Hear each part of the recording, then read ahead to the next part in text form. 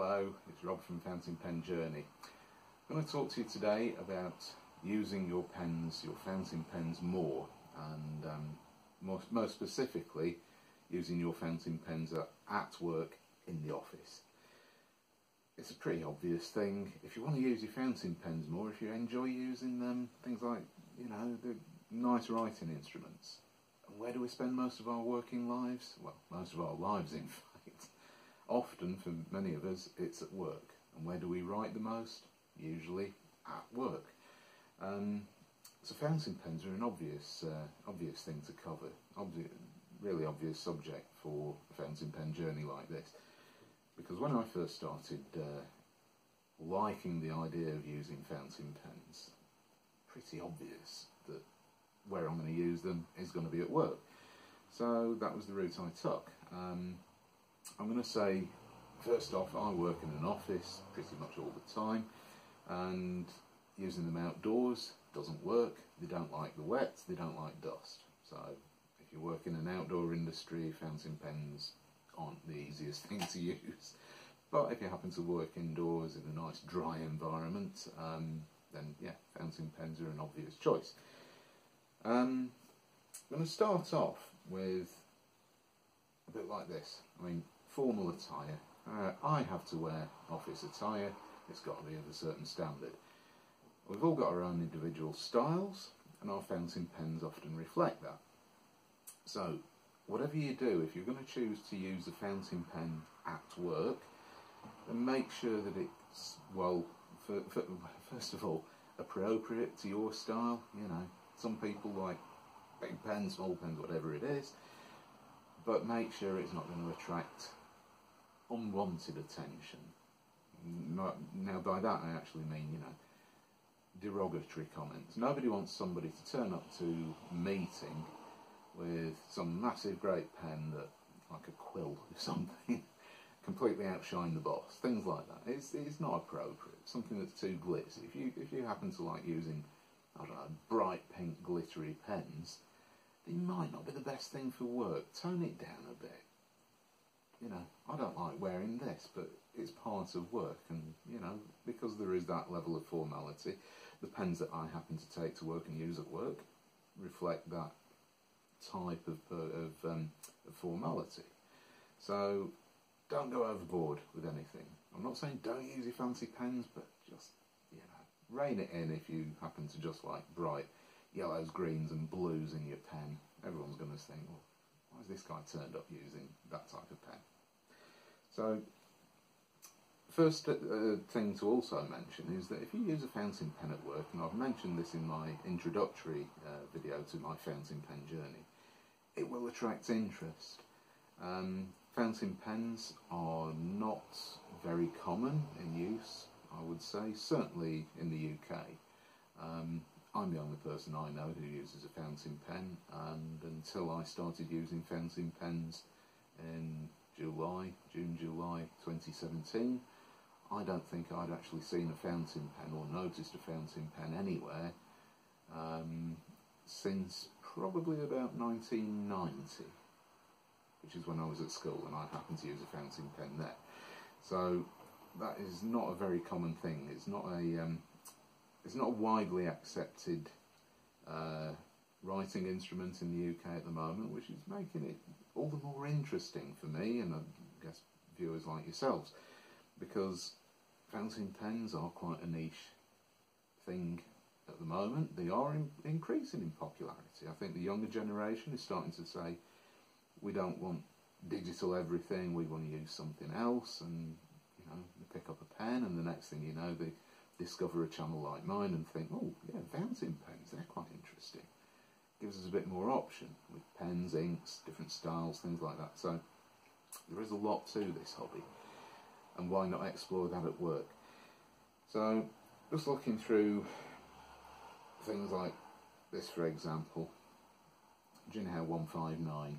It's a big, heavy metal pen, the black version, very conservative. Very good for the office environment. I've done a video review of this recently on this channel, so please do feel free to uh, have a look at that if you are interested in knowing more about this particular pen. Very cheap, a couple of pounds or so on eBay, shipped to the UK from China. Nice medium nib, big, bold, heavy pen.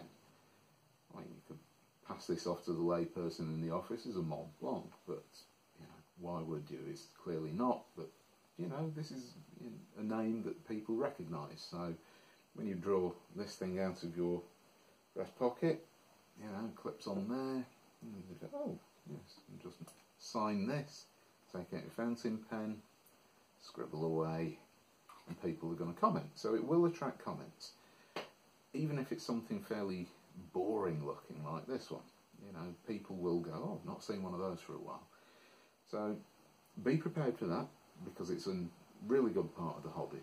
It attracts a lot of interest and people, okay, some people, I mean, I had a colleague at work the other week said, oh no, fountain pens, last time I had to use those was at school, thank God I never have to use them here. So, you know, it's not to everyone's uh, taste, this hobby, but, you know, keep it, uh, keep it going for yourself and um, I'm sure you'll get a lot out of using your pens at work. Um, if you are going to use a fountain pen at work, there's a few considerations, not just the aesthetics, but also, I mean, I've got loads of pens now, and there's some pens which are better suited to the work environment than others. This particular Jinhao 159, I have a read my uh, watch my review by all means and see what I think of this pen. But one thing that doesn't work for me at all in using fountain pens at work is having to unscrew a cap. I find it cumbersome. It is a two-hand job. Yes, you can do it one-handed, but really, I'm on the phone. I've got to mess around. No, it's not good. So a screw cap for me is a no-no. Only takes. Just count the turns. I believe it's one and a half, and it is yeah thereabouts one and a half turns. Only one and a half turns, but that is not as convenient as Say for example this Jinhao, this is a Jinhao X450, just pops off. Clips on, pops off one-handed, put it down, you're ready to write. So for me, a push-on pull-off cap is ideal. I'd also say try to look for a pen which doesn't have quite a clicky because fountain pens, they're not like ballpoint pens or gel pens or whatever you want, where if you leave the thing with the tip, the nib, the ballpoint exposed, it doesn't dry out. Fountain pens do. So you can't expect to go to a meeting, uncap your fountain pen at the start of the meeting, you've got your notes in front of you, sit there during the meeting, put the pen down, chat away for five minutes, pick the pen up and expect it to write because fountain pens just don't. They dry out. It's an unfortunate part of what they are, but I mean, I'll use this Jinhao here as an example because it's got quite a large silver coloured nib. Let's get this in shot. There we go. Right, down the centre of that nib running down the middle is a channel. And if you don't know how fountain pens work, there is an ink reservoir in the pen and it goes into a feed in this part of the pen and the black plastic bit under there is a good example of that. Um, let's just make sure I've got this in shot, excuse me. There we go. So the black plastic bit is the feed which supplies ink to the metal nib on top. Um, this channel down the middle, in between what is effectively two parallel tines, there is this tiny, tiny gap in between the two. Not a big gap, it's only, only small. And that draws ink down to the tip of the nib, which, through capillary action, basically because it's an aqueous liquid, or well, aqueous, it's a water-based aqueous liquid uh, ink. It funnels its way down there. You put the nib on the paper, and it draws it down, and it writes that way. If you happen to have that nib, hang on, where's my where's my camera? There we go. That nib exposed in the work environment for more than a couple of minutes in some cases, what you'll find is that little channel between the two tines where the ink is dries up. So that is going to be a bit of an issue because what will happen, it'll hard start and basically the pen won't write. Or it'll take a little bit of, um, sort of downward jabbing motions or something to try to get it to write properly again. So that is something to consider because if you have to screw on or uh, or cap your pen every couple of minutes to stop it from drying out, then quite honestly, you're in a meeting doing this, taking notes, there's another sentence, it's going to get annoying for everybody. um, so a slip-on cap which pushes on quietly is always going to be a lot more um, appropriate for meetings. So there's your choice of caps. Um, I'm also going to say a little bit about weight. I mean, the Jinhao 159, quite a heavy pen. It's also quite thick. It's got quite a thick diameter to the barrel of the pen, and the section's quite bulky as well. For me personally, I find it a little bit too big. Not long, just big. It's too thick. Um, so it's not a comfortable pen for me to write with at work or anywhere. It's okay for the odd note, but certainly not extended writing periods. So choose a pen that's not too heavy, too light, suits your own personal uh, preference as far as things like that go. Um, when I mentioned about nibs drying out between the tines, um, there is another thing that you have to consider. I mean, modern offices quite often are air conditioned. Air conditioning, summer or winter, is terrible for fountain pens because the air is so dry. And it will dry out that channel sometimes in a matter of seconds. I mean, I, I happen to have a desk in one of my offices which sits directly underneath the air conditioning unit. And in the middle of winter or summer, I've got a downdraft of dry air.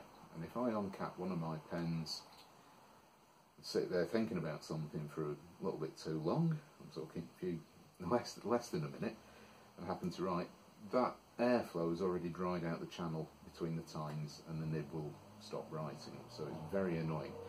One possible way around that, if that is an issue for you, is to use a fountain pen with a hooded nib.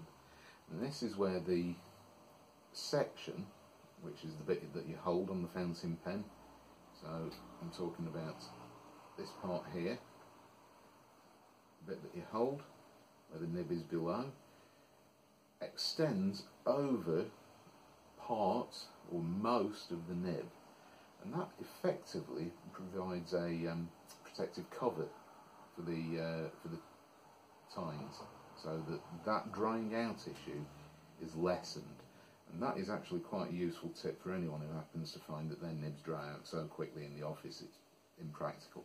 If you want to go down a hooded nib route what you'll find is the pens don't have the same amount of flex or no flex at all so you might lose a little bit of writing character.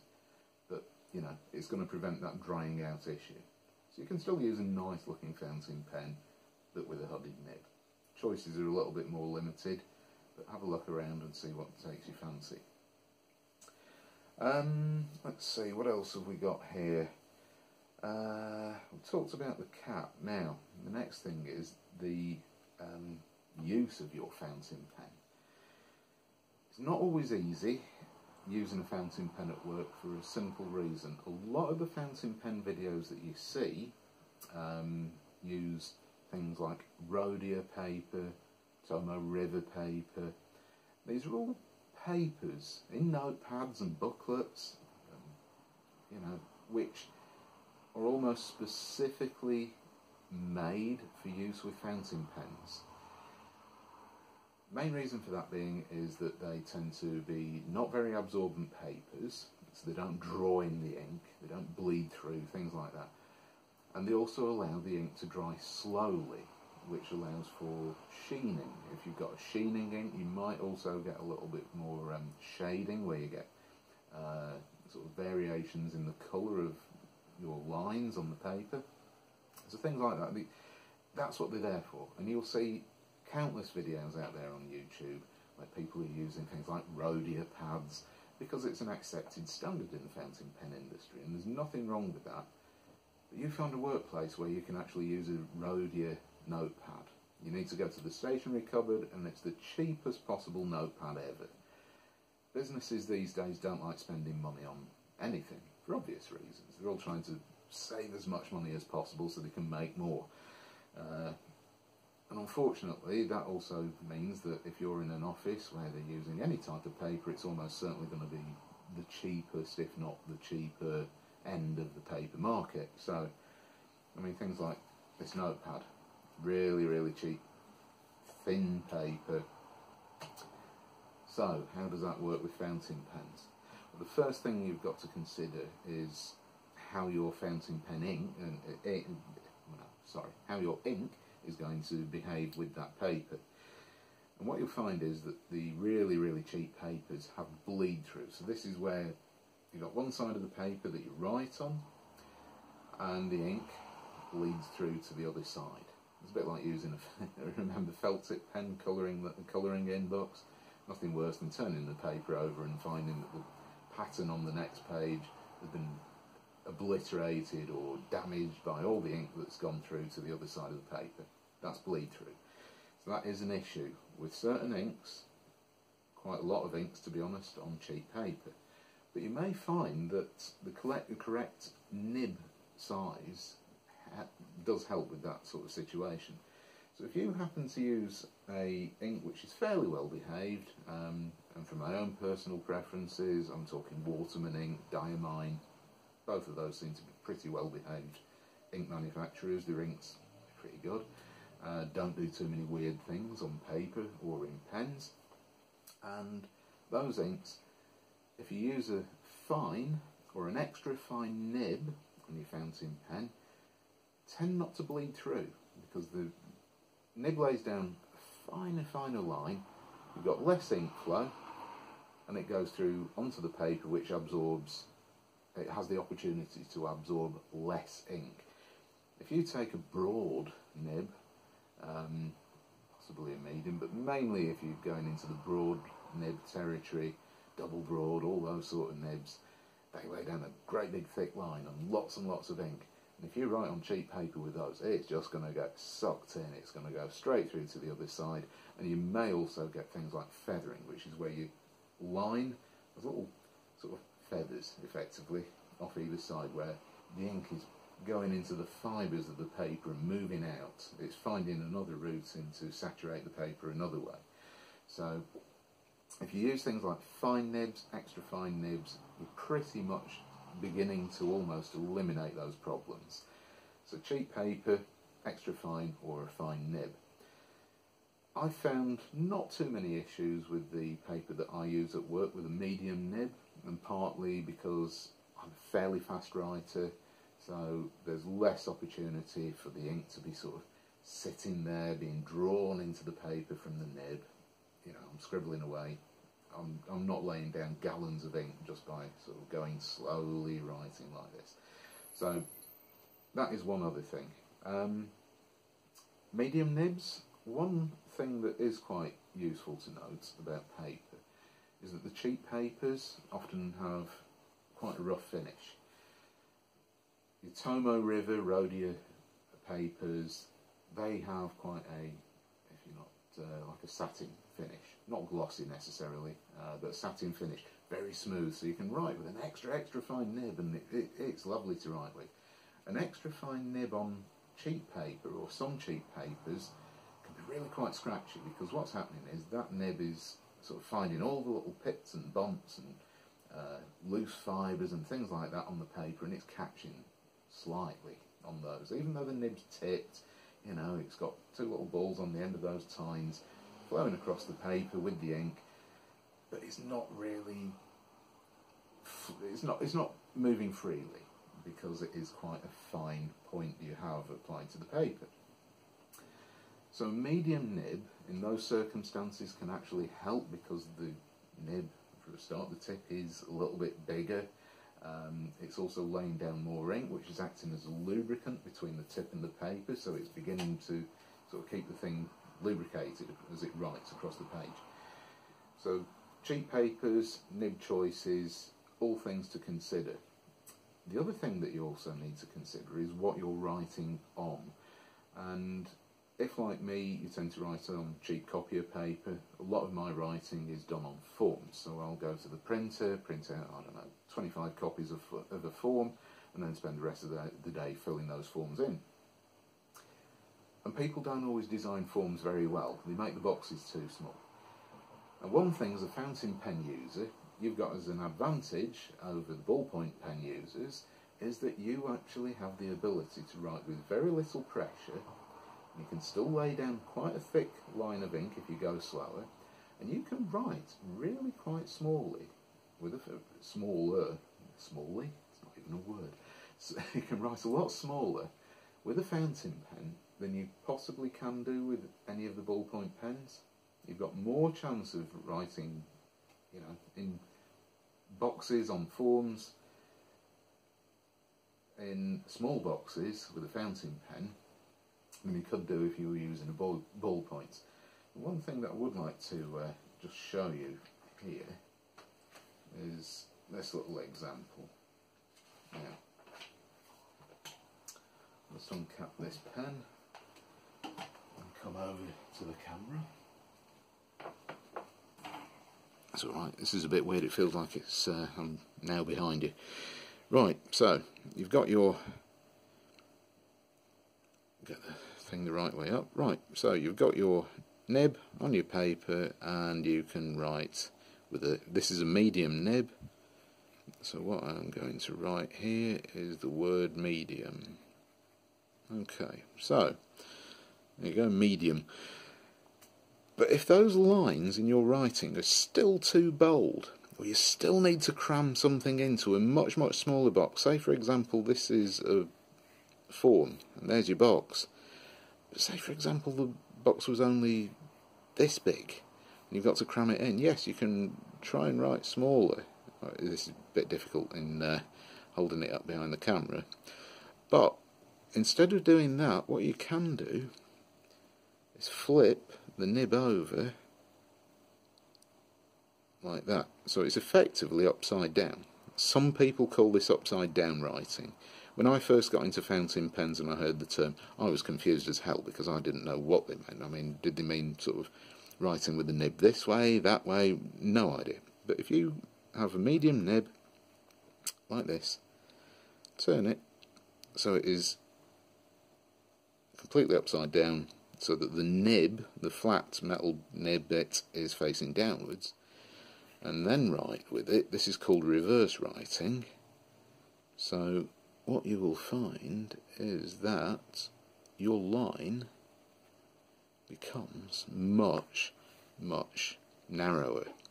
It becomes a nib size smaller or more. So we're talking going from a medium to a finer and extra fine. Just just, excuse me, just by rotating the nib round and, and using it like that. What you will find is sometimes, if you do that, nibs aren't really meant to be written with upside down. The tips, the tipping material is welded on there in an orientation so that you use the nib in the correct fashion. Not that you must use the nib in the correct fashion, but it's there to basically make the pen write how it was intended to write, or the nib write how it was in, intended to write. If you start writing upside down, reverse writing, what you can find is certainly if you're using a fine or an extra fine nib, it will be even more scratchy. So some nibs are better than others for reverse writing. Generally, most medium nibs I don't have an issue with for a small amount of reverse writing, if you just need to put a few words in a very small box, it works perfectly. I wouldn't recommend it for trying to write copious amounts of notes. If you're writing page after page of A4 and you think, oh, I'm going to do reverse writing, well, the nib will dry out because it, it just doesn't work very well like that usually. So think about that. It's a good tip. It's something that you can use as a get out if uh, you really need to write in uh, small or fine writing. Um, so it's worth considering. Um, another thing is carbon copy paper. Hardly ever seen these days, but some places still use it. There is a bit of a fallacy that you can't use fountain pens with it. Certainly, I would say if you've got a triplicate or more carbon copy um, booklet, you might have to press down a little bit harder than you should do with a fountain pen normally. I'm not saying completely muller the nib, bend it out of all shape, but just sort of, you know, you're going to have to press down a little bit harder to make that sort of um, carbon copy go through to the third sheet, say. Um, there are nibs uh, which were manufactured mainly in Germany. I believe that Pelikan sold pens with the, um, I think it's called a DF nib, I believe. And that's a really, really stiff fountain pen nib. In fact, there is absolutely no flex, and the idea is that was used on carbon copies where you used to put the carbon paper behind and the cardboard and press down really hard to get the thing to transfer text from one form to another below. So anyway, just that is something, but you're never going to use one of those in, uh, as an everyday writer, I wouldn't have thought. Um, so your paper is important. Small writing we've covered, um, reverse writing, all of these little tips can be useful in the office and you know, it's another excuse to actually use a fountain pen over a ballpoint pen, for example. Right, for the next bit I shall move on to inks. Inks are great. I never realised that I would actually really like inks. Uh, when I first got into fountain pens, I, I was really, really just about the design of the pen and the fact that it was something different. And then I discovered that you can get inks in all sorts of different shades and colours. Um, something for everybody. I mean, I probably an infinite number of blues available. So if you happen to like writing with a blue ink, then there's a whole range of blues available. Um, you've got a wide, wide choice. Obviously, whatever you're going to choose, there is one issue with fountain pens, and that is that the inks are usually water soluble. They're water based, and the pigments and constituent components which make the ink coloured flow through the ink, uh, through the pen in the ink because it's water based. And because of that, fountain pen ink on the paper is not as water resistant as you will find from things like ballpoint pens. I can take a notepad outside full of writing and if it's a light bit of rain in the air on a normal British summer's day, I think you'll find if I've written with a ballpoint pen, it's still legible by the time I get from A to B or to the car, wherever I'm going. If I happen to have written this in a fountain pen ink, some of it will have run. It will, it will either run or fade or smear very easily. Very, very easy. So be aware of that. Um, what you can do to get around that is use something called a registrar's ink. So this is a, if you like, a permanent or semi-permanent archive quality, so it's not going to deteriorate over time or it shouldn't do massively. Um, and those sort of inks tend to be waterproof. They're usually a bit of a pain to clean out and they stain nibs and if you've got a clear pen such as this demonstrator it's probably going to be an absolute nightmare to clean out from in here. It's, it's, it's going to stain the pen a little bit. So be aware of things like that. But if you really, really must use a fountain pen at work and your employer states that the ink must be indelible, your basic fountain pen inks, doesn't matter who it is, chances are aren't going to be permanent enough for their liking. So just be aware of that. Um, Bulletproof is another term for registrar's ink that seems to be interchangeable if you like. I may be wrong, but it seems to be a term that um, they use in the uh, USA quite a lot. Bulletproof ink is a waterproof ink. Um, registrar's ink in the UK, available in blue or black usually. um, which brings me on to the next thing, choice of ink colour appropriate ink colours for work. I've worked in quite a few places where blue or black ink has been the only acceptable colour variations for ballpoint pens. In fact, I've even worked in some places where it has been black only. Um, reasons for this tend to be around things like um, quality control, quality assurance, where something's written and it's not changed. So you're never write in pencil. The approved colour is black because it copies well on old photocopiers, things like that.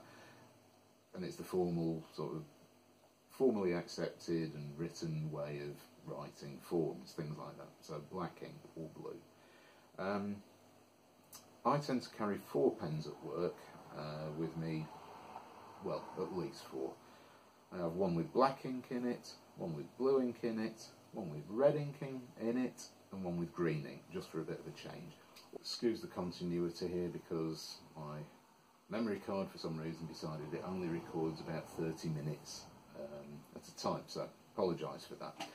Um, I'm going to just carry on with the ink discussion. Um, I was saying about the inks, the pens that I carry, four pens at work, different colours inks, three of which are conservative or accepted um, ink colours, and there's usually one which is outlandish. Fortunately, I mean, I, I am in a job where I um, have a lot of freedom and I'm free to take my own notes and use my own notes, and only I need to see my notes, so I can use whatever colour I like. Um, so I'm quite, I'm quite lucky from that point of view. Um, at the moment, I'm using a purple ink. It's a very dark purple called Diamine Grey, and it's a lovely ink. It, it's blackish, but it's got a slight hint of dark purple, and I think it, it, it's even quite a conservative colour. I, I, can certainly get away with using that on, if you like, more formal um, documentation. So I enjoy being able to uh, at least use a few other inks at work rather than just blue or black. But even then, I mean, if you have to use a blue ink, why not use a fountain pen? And if you do have the op opportunity to uh, use a different type of uh, ink different colour, then at least you can choose your blue colour of ink, um, which is nice. Um, let's see, inking up your pens. Ah oh dear, never going to be easy. Fountain pens use ink. Yeah, obvious. They hold, liquid-wise, volume-wise, a lot more ink than a ballpoint pen would, and unfortunately they also get through that ink a lot quicker than you would do with a ballpoint pen.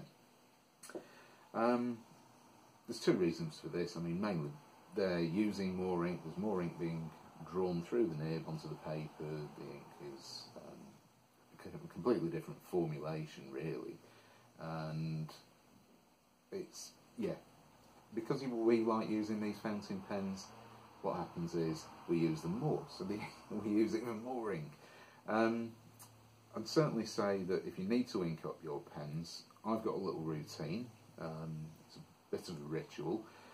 In the evening, I'll go home from work, and if any of my pens are getting a bit low on ink, I'll refill them at home. I don't mind doing it. It's a nice little thing to do. Uh, if I want to clean the pen out and change over to a different ink, then I flush the pen, and it takes me know, a few minutes. Um, I don't mind that part of my ritual with fountain pens. Um, people who don't like messing around and tinkering, you know, probably aren't going to be using fountain pens anyway. So my evening or Sunday evening ritual is swapping out my pens for different pens, refilling the inks, cleaning the pens, things like that. So I don't mind refilling at home, and I've usually got enough pens with me at any one time for it not to be an issue. But I certainly do always carry sort of, well, two, me uh, two pens to a meeting just in case one ever does run out. Ink cartridges are another option. They're a mess-free way of using fountain pens. Seen them all before. I mean, any pen which will take an ink cartridge. I mean, this particular Jinhao X450 just so happens to um, have a standard international cartridge converter in it and it will take standard international ink cartridges which is great because that means that you can carry a supply of ink cartridges around with you which don't leak, they don't burst, uh, they don't break and when one runs out you simply whip it out, pop a new one in, screw the pen back together and away you go, you're good to write. Um,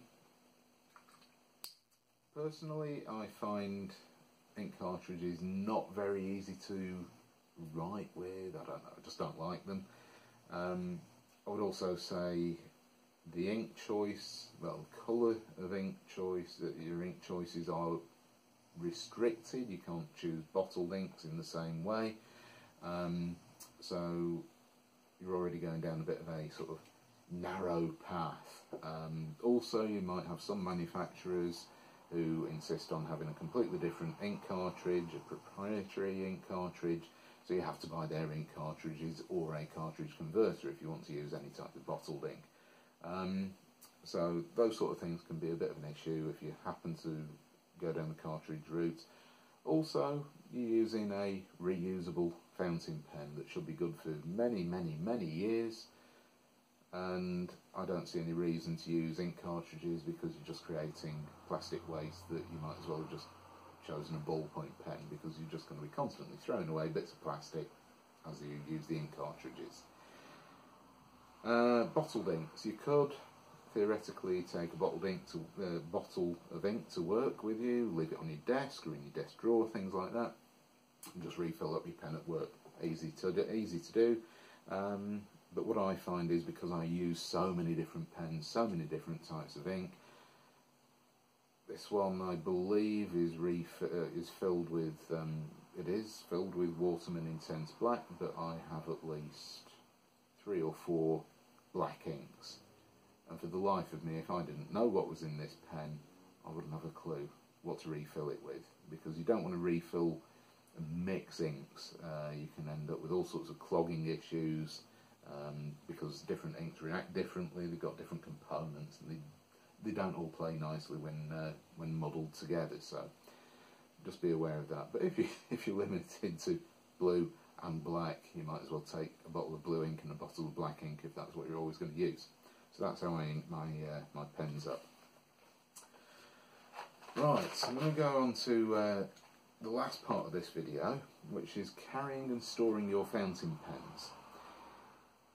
If you happen to get into expensive fountain pens, by this I'm talking things which might might cost over 150, 200 pounds. I mean, we're, we're looking at the um, the price of say a mid-range to high-end smartphone.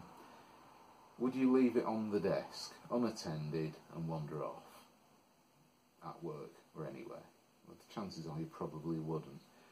So if you do carry an expensive pen, be aware I mean, you probably already are, but don't be blasé about it because it could well end up either stolen, because you know workplaces don't always have the best people, or um, it could be even damaged. Um, accidental, you know, rolls off the desk. If you've got a nice writing desk at home for your very expensive pens, yeah, fine, you're going to take a little bit more care. But if somebody's talking to you and you happen to sort of knock the thing off the desk with a load of paperwork and you just ruined a nice nib um, or a decent pen at least. So yeah, consider that. It's always an option. Also consider things like accidental theft. Um, this is a Wing Sung 6.3, uh, no, the 3, do apologise, 6, I'm gonna, I've been using too many Wing Sungs recently. This is a Wing Sung 3008 piston fill fountain pen and it's a clear demonstrator. Every part of the pen is clear, obviously apart from the metal portions and the uh, mechanism of the piston and the nib, but it's clear. Very popular, these demonstrator pens at the moment. People really do like them. I mean, they do look quite good. They perhaps look a little bit less old-fashioned and formal than these sort of pens. Um, but, you know, to the untrained eye, this could look like any old plastic pen. Now I know these Wing Sung 3008s are very cheap pens, they're only a couple of pounds on eBay, um, but you can also get demonstrators, clear demonstrators, coloured transparent demonstrators that look very very similar to this to the layperson. Who doesn't understand fountain pens, and you could spend £200 on one of these pens. And Joe Bloggs comes along to your desk. Oh, Rob, Rob's not at his desk. I need a pen. Oh, someone, someone, uh, someone needs me to take a note from a phone call over there. Oh, this pen will do. And they just wander off with this pen. Gone. They're not going to think anything of it. Probably not until they uh, decide to uncap the uh, uncap the pen and go, oh, oh no, it's a fountain pen. They probably haven't a clue what sort of value that is, even if it's just a two pound pen you really enjoy writing with. So, you know, they're probably going to forget where that pen came from and it's just going to get left on somebody's desk. So that pen has probably disappeared into the ether as far as you're concerned. So, you know, keep your pens with you or at least make sure that people are aware of um, the fact that, you know, you use fountain pens rather than wander off with your pen because they think it's just a ballpoint. Um, some people don't like using fountain pens at all. I mean, I've certainly come across people who go, well, don't mess with a man's fountain pen, you know. It's very personal, you know. Don't write with another guy's fountain pen. you know, some people don't do, don't just don't do that. Um, I'm also going to talk a little bit about carrying and using your fountain pens. I mean, obviously, you've got your breast pocket, things like this. You just clip the pen on. You might pop it on your trouser pocket, clip it in there. Be careful if you sit down because you know, not all pens are as robust as this all metal Jinhao demonstrator pen. I'm not saying it's easy to crack, but if you happen to be a bit on the heavy side and sit down with it in your pocket, it may well crack and leave a really inky mess because it's uh, filled with ink. Um, if you happen to be that sort of way inclined, then you might consider using something like this, a pocket pen. Uh, this is the Delike Classic Alpha, uh, based on the, uh, if you like, much better and original uh, AL Sport um, fountain pen, um, which is a metal pen. This is a tiny, tiny pen. Compare the two. Tiny, tiny little pen. This is all metal. It's got screw on cap. Unscrew that. Push to post, and you've got a if you like, normal size fountain pen. So it's very useful for little uh, bits of note taking. Very, very sturdy pen. Comes with or without a clip, as does the Kaweco as an optional extra, um, which you can clip onto your pocket. But this thing is so robust, you can just stick it in your pocket with your keys if you so, if you're not bothered too much about scuffing it up a little bit. So pocket pens are a way forward for uh, ease of carrying.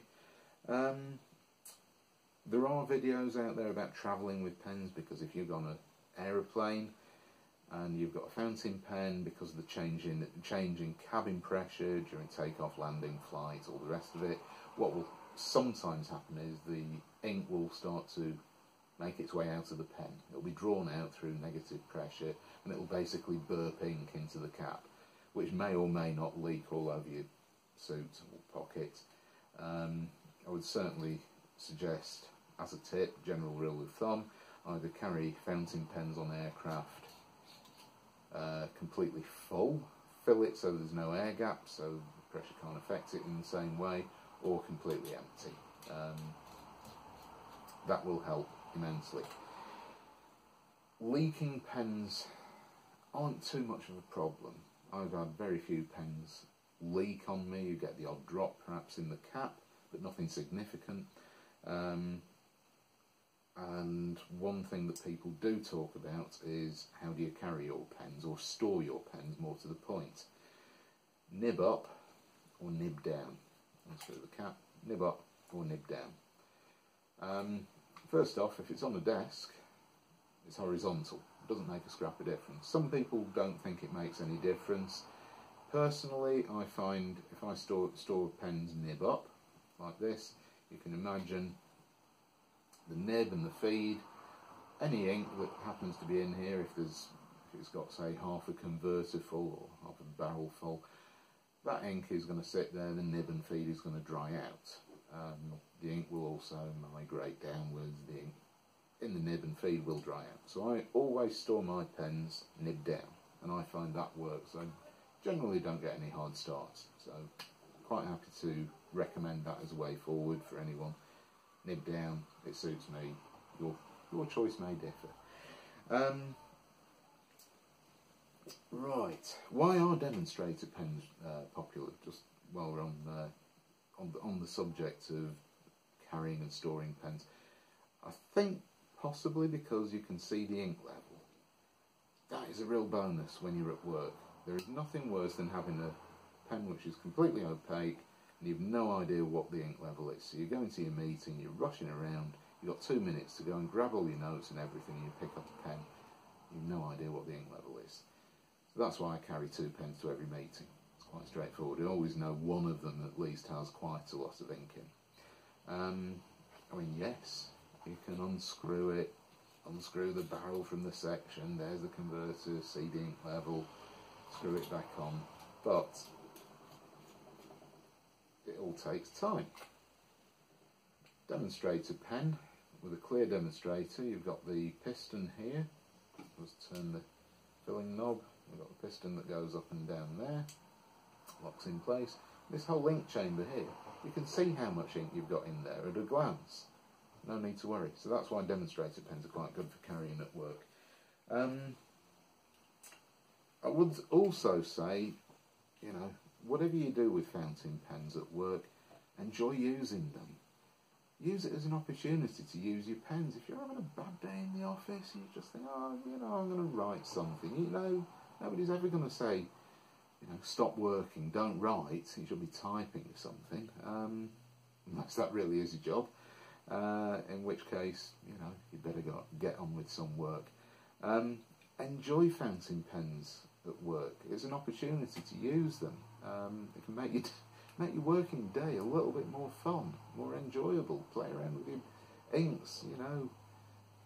Take a black ink if you need it, but if you've got the opportunity to use an I don't know, a nice burgundy ink or something, then by all means, you know, swap it over. use a different coloured ink if you can. Enjoy it. It's a hobby. You might as well extend that hobby to work because it's still work. You're not losing out. Nobody's losing out. Um, like this channel, if you take your pens to work, it's going to encourage other people, hopefully, into uh, being interested in fountain pens and possibly even taking up the fountain pen hobby. Um, it's quite a diverse hobby, and if you've got different ink colours, different pens, different styles, different colours, all these things can actually sort of, you know, grab somebody's attention.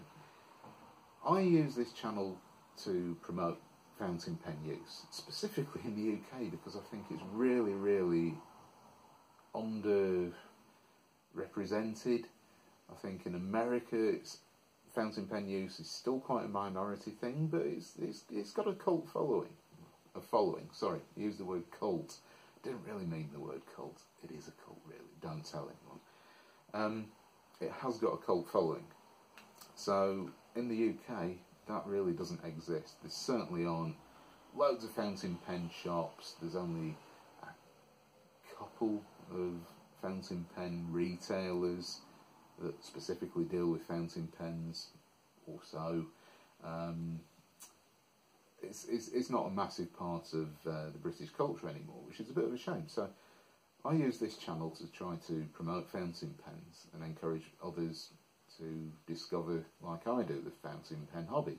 I'm on a fountain pen journey, so you know I'm hoping you will be too. Um, if you take your pens to work, you have the opportunity to perhaps even encourage other people to use fountain pens.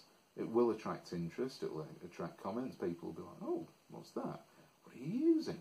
Why is that ink that colour? You know, there's a whole range of reasons.